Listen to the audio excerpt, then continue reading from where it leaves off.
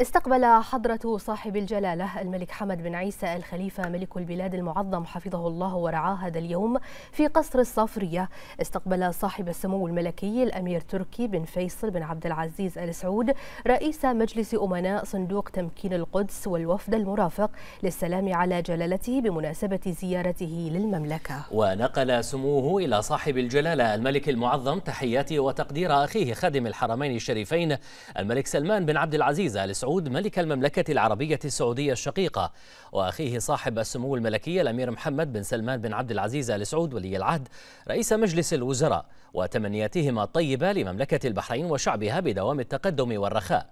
فيما أبلغه جلالته بنقل تحياته لخادم الحرمين الشريفين وصاحب السمو الملكي ولي العهد وخالص تمنياته لخادم الحرمين الشريفين بموفور الصحة وتمام العافية وللشعب السعودي الشقيق مزيدا من النماء والازدهار.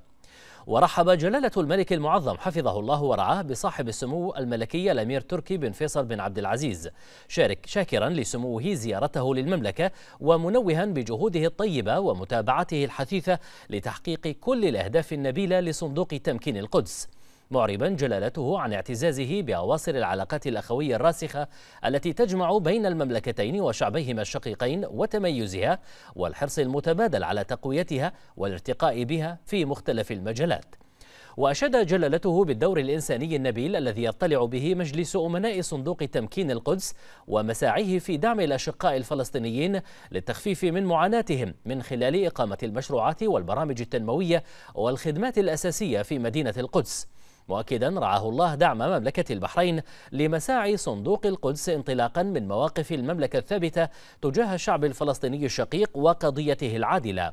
منوها جلالته في هذا الجانب بدور المؤسسة الملكية للأعمال الإنسانية برئاسة سمو الشيخ ناصر بن حمد الخليفة في تنفيذ العديد من المشاريع التنموية والإنسانية وتقديم المساعدات الإغاثية للأشقاء الفلسطينيين وفي الدول الشقيقة والصديقة.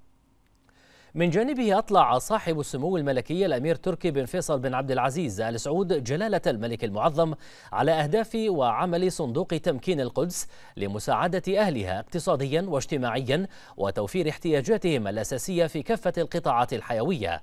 مثمنا عاليا جهود ومبادرات جلالة الملك المعظم الإنسانية الخيرة في دعم ومساندة أبناء الشعب الفلسطيني في مختلف الظروف الإنسانية وما تقوم به مملكة البحرين في هذه المجالات.